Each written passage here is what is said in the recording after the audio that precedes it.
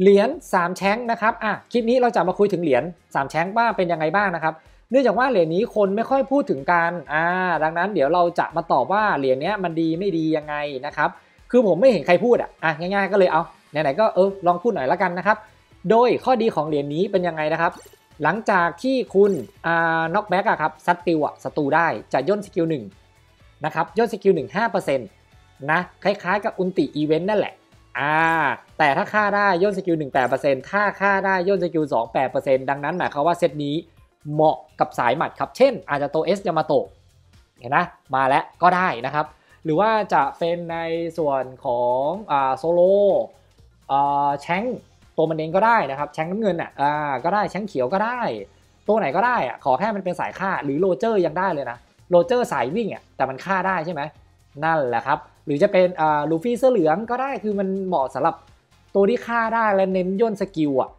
อันนี้อะนะ ซึ่งสกิลหนึ่งเนี่ยมันลดอยู่ที่ 14%ถามว่ามัน 6%อะมันไม่ได้เยอะขนาดนั้นหรอก แต่มันเหมาะสำหรับตัวละครที่ฆ่าได้เท่านั้น ย้ำฆ่าได้เท่านั้น อย่าง patch ปัจจุบันเนี่ย ถ้าผมพูดก็น่าจะเป็นในส่วนของเอสยามาโตะ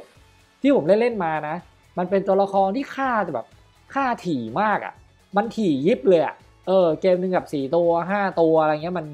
มันฆ่าได้เยอะจริง ๆ นะอ่าถ้าถามผมนะเอสยามาโตนะครับ ส่วนมีคนถามอ้าวแชงเขียวล่ะ ผมก็จะบอกว่ามันแล้วแต่แพท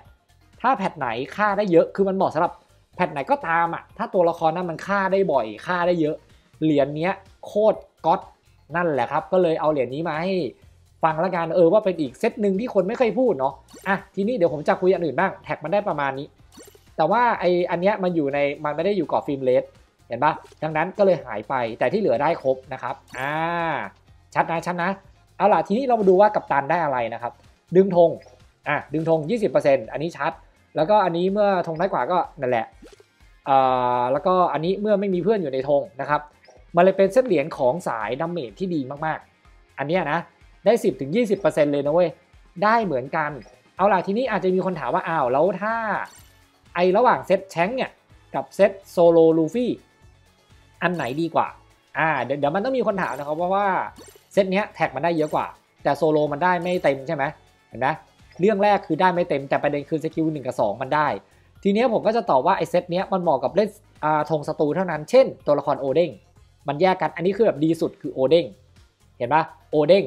เออเพราะโอเด้งเนี่ยมันแนวป่วนศัตรูแบบตีแรงๆไปเลยตลอดต่อเนื่อง หรือ โอเด้งมีคนถามว่าอ้าวถ้างั้นโอเด้งใส่เหรียญนี้ได้ไหม ผมก็จะบอกว่าก็ได้ เพราะว่าณปัจจุบันเนี่ยรู้สึกโอเด้งมันจะแพ้แบบแพ้จัดๆเลยนะ แค่เลลี่เท่านั้นเท่านั้นจริง ๆ แค่เลลี่เลยแต่มันก็ไม่ได้แพ้สุดเวอร์เข้าใจใช่ไหมมันแพ้แต่ไม่ได้สุดครับเพราะว่าอะไรใช่ป่ะเพราะในส่วนของเลลี่มันไม่แคร์ว่าใครเลือดเหลือหนึ่งอะคือแม่งฆ่าเลย แค่นั้นเองเลลี่ตัวใหม่นะ แต่ตัวอื่นไม่เกี่ยวนะตัวอื่นก็บวกได้หมดอยู่ดีนะมันป่วนดีโคตรๆนะครับ นั่นแหละก็เลยผมมองว่าสำหรับไอโอเด้งเนี่ยคุณจะใส่เป็นเซตนี้